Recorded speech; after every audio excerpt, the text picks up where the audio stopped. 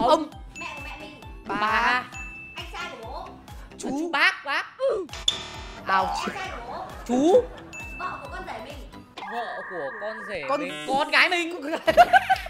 Ông bà ông bà. U u u ông bà à, à ừ ông bà ông bà ông bà ông bà mẹ của bố mình. Mẹ của bố mình ba. Nội. Vợ của chú. Con vợ của chú. Gì? Cô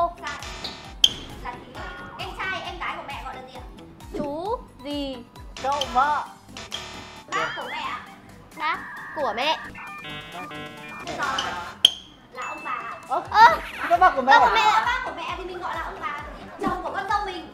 Chồng của con dâu mình. là con mình. Con mình gì? Vợ của cậu gọi là gì? Mợ. Mợ mẹ của chị ruột. À, mẹ mẹ